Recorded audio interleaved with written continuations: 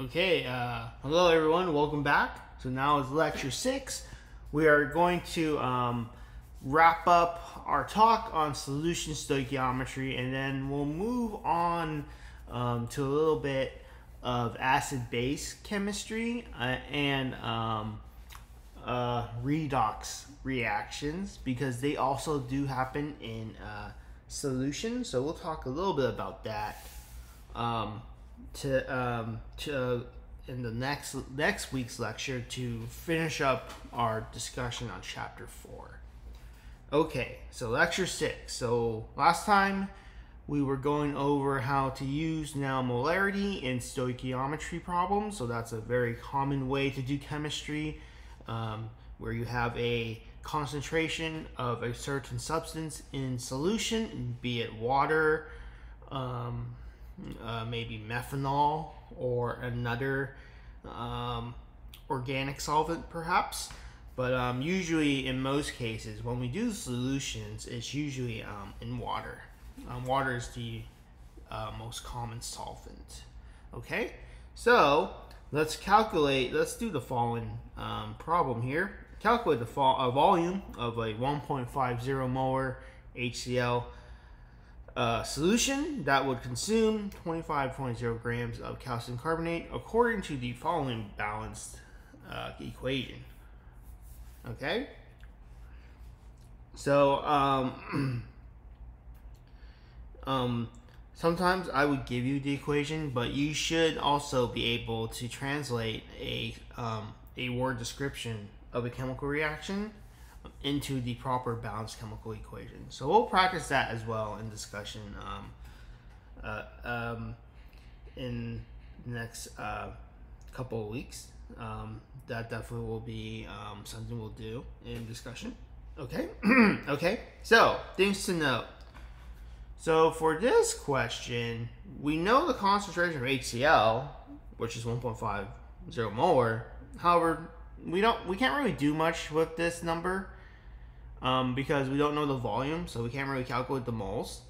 Um, so we know there's a solution of it, but we don't know how much of it there is. So we can't really do anything with the moles. You may say, oh, okay, well, we know there's 1.50 moles per liter, but you don't know how much of that volume you have. So you really can't say how many moles you have right now or that was used in the reaction.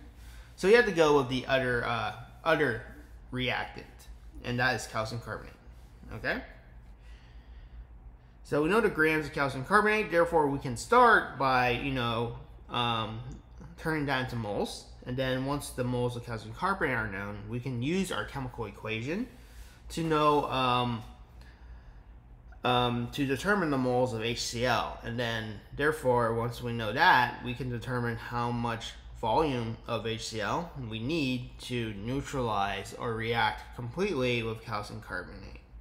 So these reactions um, we, I've been showing you, we call them titrations because um, the two chemical reagents here are an acid and a base, and we'll go more over that uh, next next time about acids and bases. Okay, so here's my setup here. I have calcium carbonate, calcium carbonate right here is a solid. Um, and then in solution here, I have, um, or in my burette here, I have HCl. Okay. All right, let's do, uh, let's go. Okay, so first let's calculate, convert calcium carbonate to moles. So we have 25.0 grams calcium carbonate.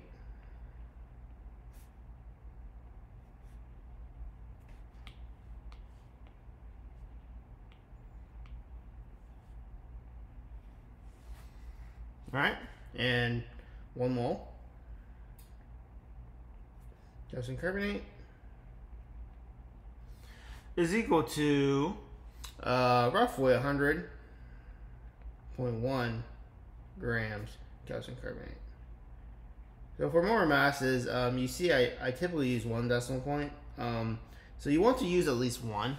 Um, don't use just whole numbers. Um, your calculations might be slightly off to my numbers. So just use one Well, if, even if you use more than one decimal, it'll probably be slightly off. But one is probably one decimal place is probably the the um, it's probably the the least um, number. It's the least number of decimal places you want to put. So at least put one. Okay. All right.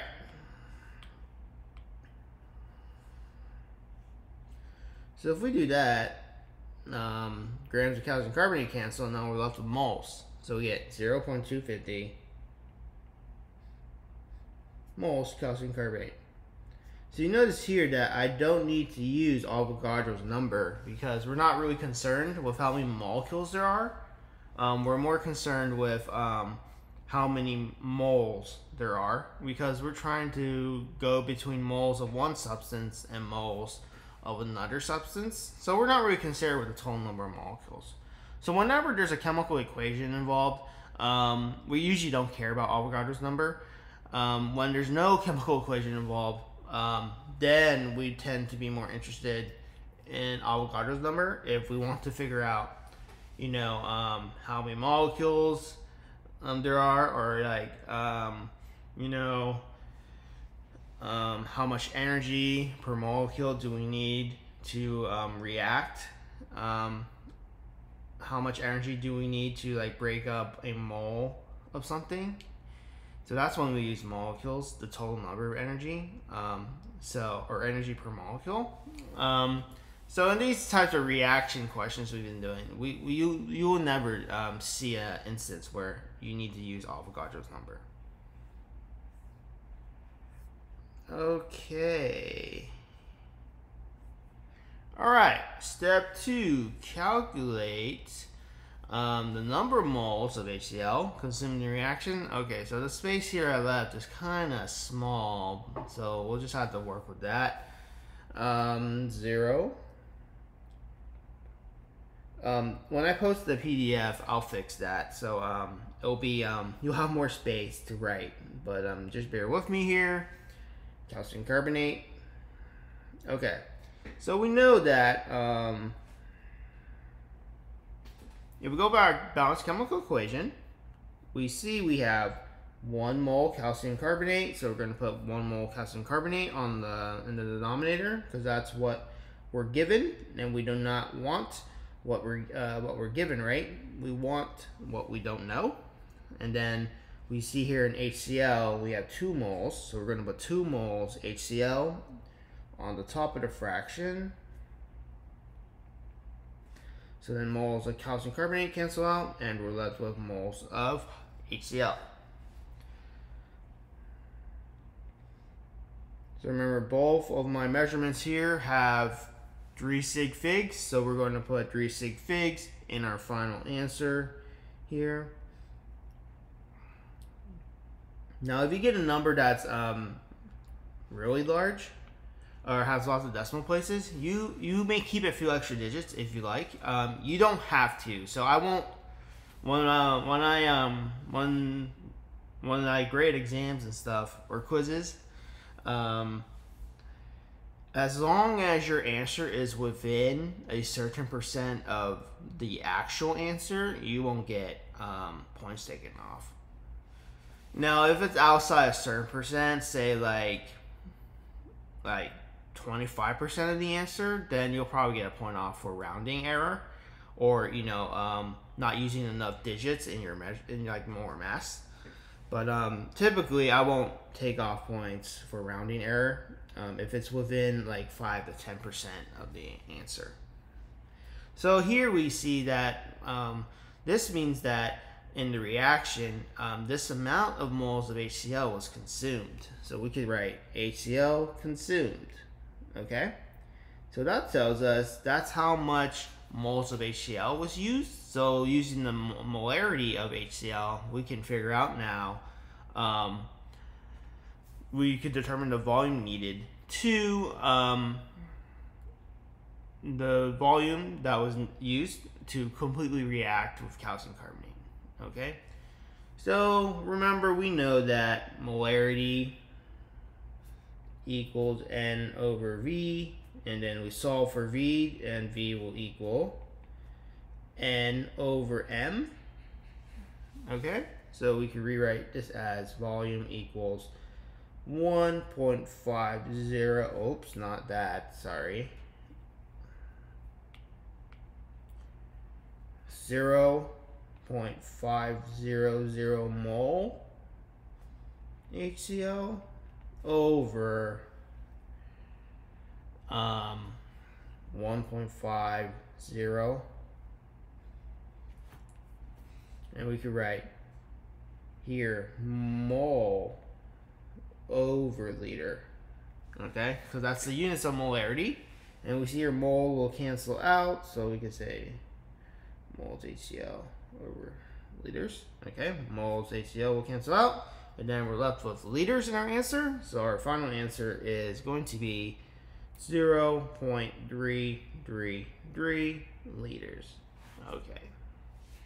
So or we could call this um, 333 liters. Sorry, not liters, uh, milliliters.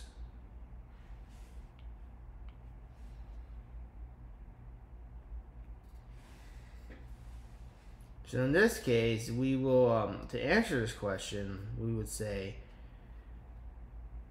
we, um, let's not use any pronouns here.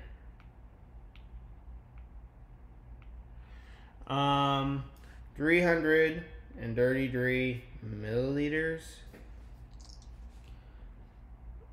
of 1.50 molar HCl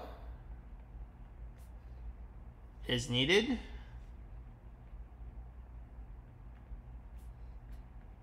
to consume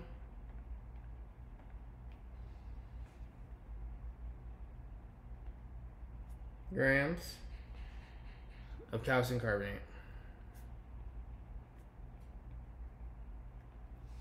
Okay, so that's how we do another um, type of stoichiometry problem.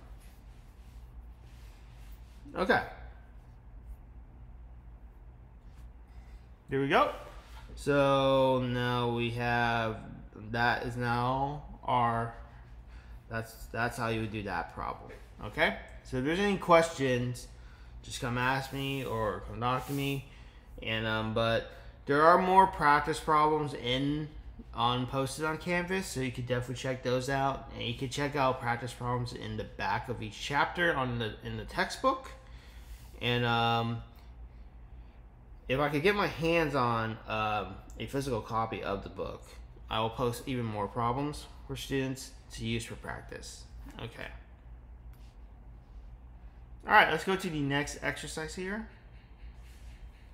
All right, so now we get a little bit tricky. Um, so now we can actually um, use these type of calculations to determine um, the identity of a metal. So say you don't know what the metal is in this reaction. You have an unidentified element or metal or atom.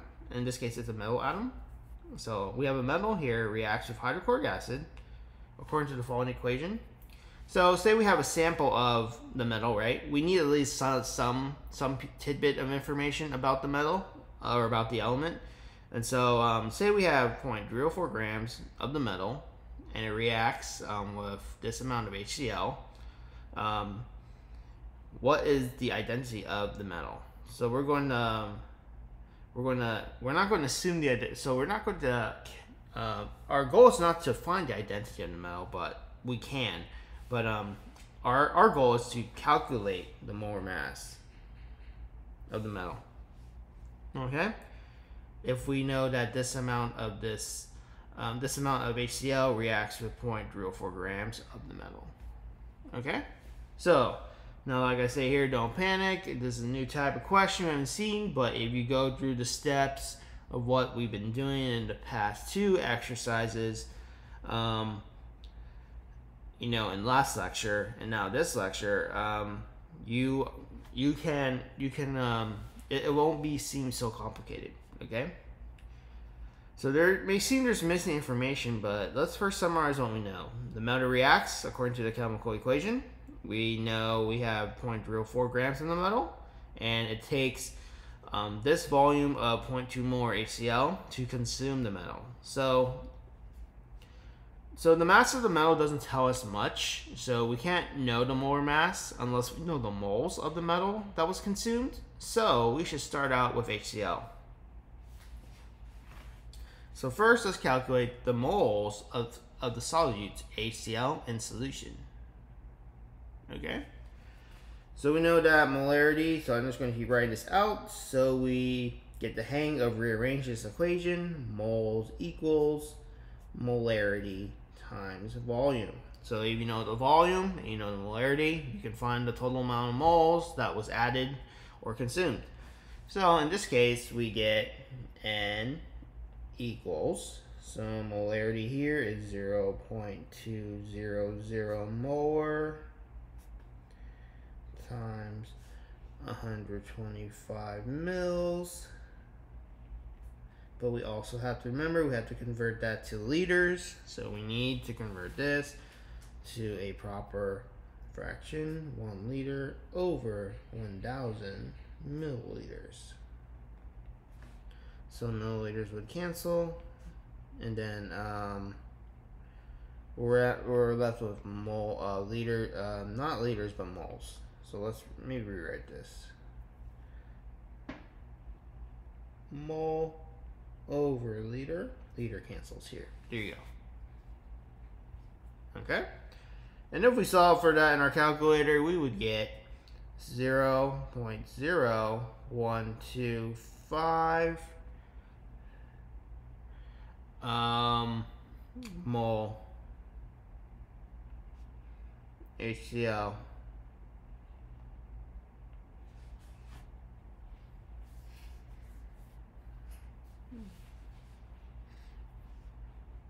Alright.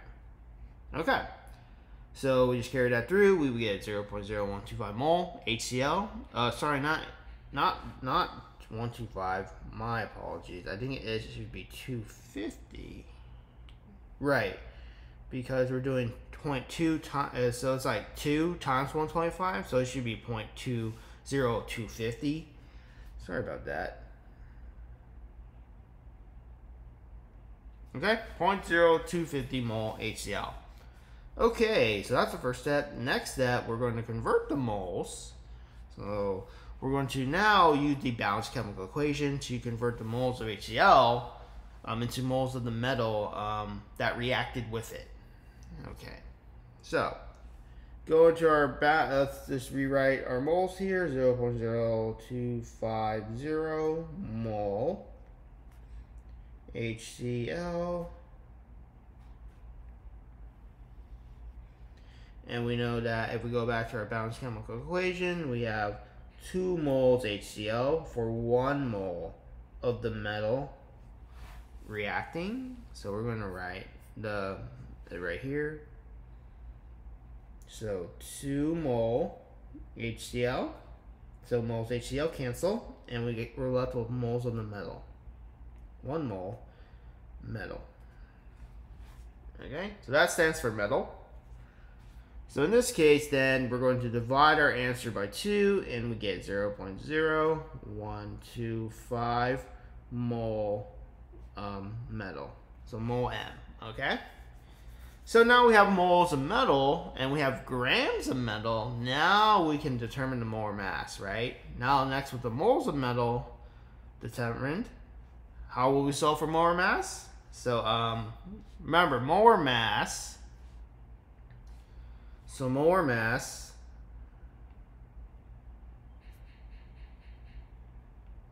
is equal to the number of moles. Oh, sorry, not moles. It's the number of grams of a the amount of grams of a substance, right? Is the amount of grams of a substance that's equal to um, a mole of the compound. So mole of mole of substance is number of grams of substance, right? Per one mole of that substance. That's the molar mass. Okay? So we can equate this to mass over moles. So remember, moles is denoted N and we'll have the units of grams per mole. Okay? So that's the molar mass. So we just plug in what we know. We know mass equals, if we go back up to the beginning of the problem, 0.304 gram.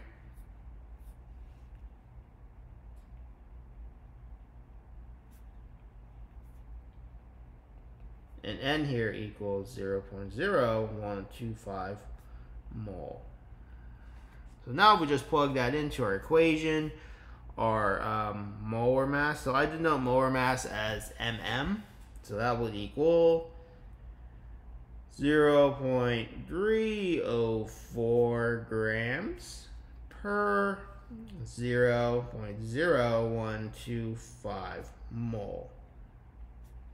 So if we put that in our calculators, we will get roughly 24.3 grams per mole. Okay? So this is our final answer. We leave it as three sig figs because um, of the number significant figures in our initial calculations. So remember, um, a lot of the calculations we do is multiplication and division.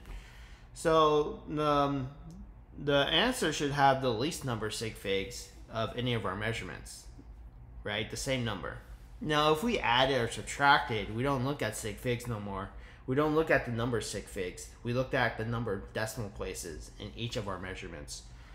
Because you know when you add things, you're you're constantly um, you um, the decimal place has more importance because um, you um, when you add things, um, some some decimal points will carry over, while some others will not. So the least accurate one is going to be the one um, that has the least number of decimal places. So that that's how we would um, change our answer in terms of addition of subtraction. So there's like these specific rules, but um, they're there.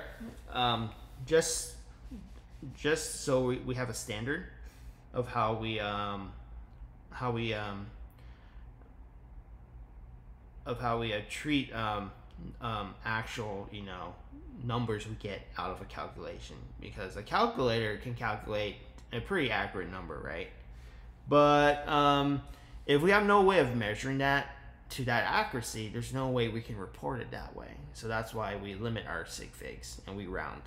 Okay, but anyway, 24.3 grams per mole. So this is a metal. So what kind of metal is this? Well, if we look at our periodic table, it's in group two and it's magnesium.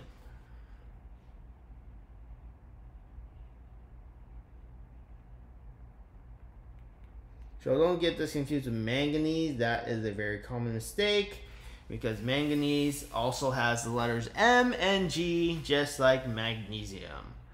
But um, since the third letter is different, we, we typically say magnesium is Mg and then manganese is Mn.